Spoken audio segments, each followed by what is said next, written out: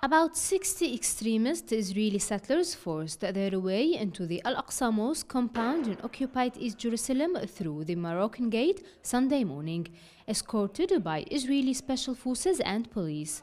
The incursion occurred after the right wing Jewish group Women for the Temple called on ultra Orthodox Israelis to tour the Muslim holy site to mark the start of the new Jewish month.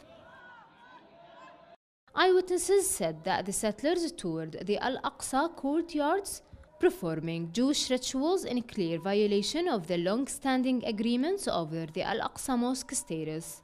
Meanwhile, Israeli police tightened security measures on the entry of Muslim Palestinians into the Al Aqsa Mosque, especially youths.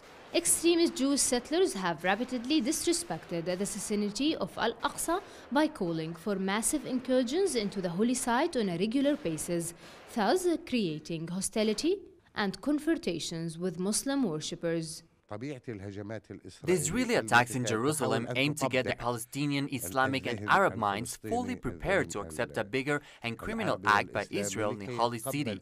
If this happens, then the situation on the ground will flare up not only in Palestine but also in the Arab and Islamic region. Non Muslim worship at the Al Aqsa compound is prohibited according to an agreement that was signed between Israel and the Jordanian government after Israel's illegal annexation of Jerusalem in 1967. Al Aqsa is the third holiest site in Islam. Jews, for their part, refer to the area as Temple Mount, which they believe is the location of two Jewish temples in ancient times. Noor Harazeen, TV, Palestine.